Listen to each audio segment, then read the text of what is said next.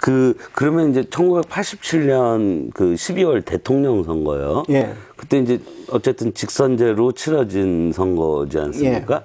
예. 그때 대통령 선거 과정에서 역할이 있으셨 어떤 역할을 맡으셨나요? 저는 뭐, 그, 아- 아시다시피 그런 저, 네, 네. 그 후- 이후로는 네. 말하자면 주류에 들어가지는 못했으니까 네.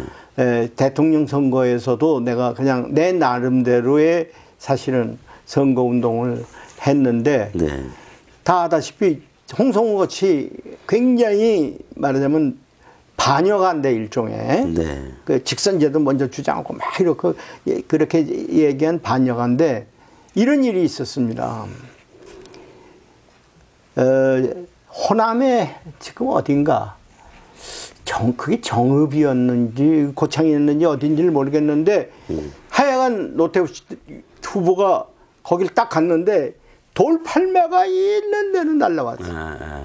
예? 막 그랬죠. 예, 그래가지고 이 저 이 뭐야 투명 방패로 비, 저 막. 무슨 플라스틱 판으로 이렇게 막고 이렇게 갖고 유세를 못했습니다. 예. 유세를 못하고 사람들이 전부 몰려왔는데 그냥 떠날 수밖에 없는 상황이 됐어요. 너무 이 폭력이 심해져가지고.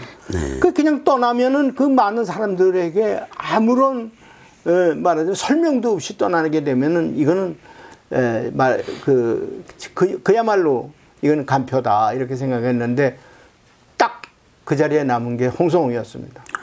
이게 홍성호 혼자 딱 남아가지고 다 가게 오고 자기가 마이크 잡고 그냥 열변을 토했습니다. 어? 이렇게 하면은 에, 우리나라 민주주의 어디 간다. 예? 후보가 얘기를 들어야 될 거 아니냐. 우선 그, 예, 그, 그 어려운 판에 잘못하면 그 돌팔매로 맞아가지고 그냥 테러를 당할 텐데 그 어려운 가운데서 열변을 토해가지고 결국은 에, 그 사람이 반대하는 사람 있으면 대표 다 내가 상대해서 얘기할 수가 없으니까 열 명만 나고 대화를 하자고 그래서 거기서 열 명을 뽑아가지고 교실로 들어가가지고 열 명과 대화하고 그랬습니까? 당신들이 희망이 뭐냐 얘기해가지고 전부 받아가지고 나와서 보고오고 그런 일이 있어요. 오. 그러니까 내가 생각하는데 오히려 그 당시에 우리 나같이 우리 같이 이렇게 에, 있었던 사람들이 그래도 뭔가 에, 노태우 대통령을 만들고 지키려고 했지.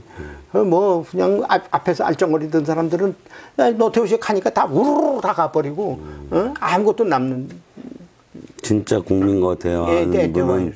홍성호 의원. 네. 그때 의원님도 그때 그- 있었어요. 아, 네, 그러셨군요. 그러니까 내가 지금 생각하는데 예, 나는 사실 그런 용기까지는 없었습니다. 아, 아, 이건 그런데 홍성관 남아야 된다 그러니까 난 나 같이 남았는데 예? 예, 사실 참 용기 있는 일입니다. 아, 그럼요. 네. 어, 그, 지금 이렇게 그 당시도 기억이 나지만 영상으로 보면은 뭐 수도 없이 돌이 날라오지 예, 예, 않습니까? 물론 뭐 김, 김대중 후보 또 저 영남 갔을 때 그랬고 또 뭐 그런 YS도 그렇고. 네, YS도 그렇고 그렇긴 했지만 아 그러셨군요.